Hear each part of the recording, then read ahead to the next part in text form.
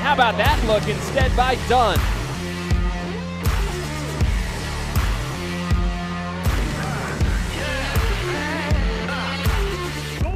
Dartmouth just two wins, but they've been competitive.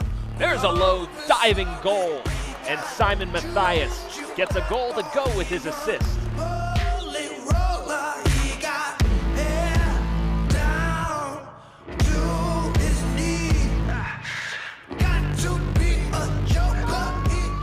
Shot of the goal, Mathias with Spinell on his back.